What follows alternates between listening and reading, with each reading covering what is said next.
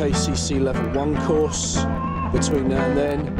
And then there'll be plenty of guys to come down and support. I'll come down and support you.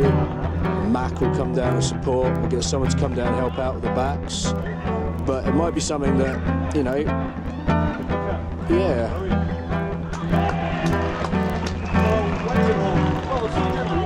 Yeah.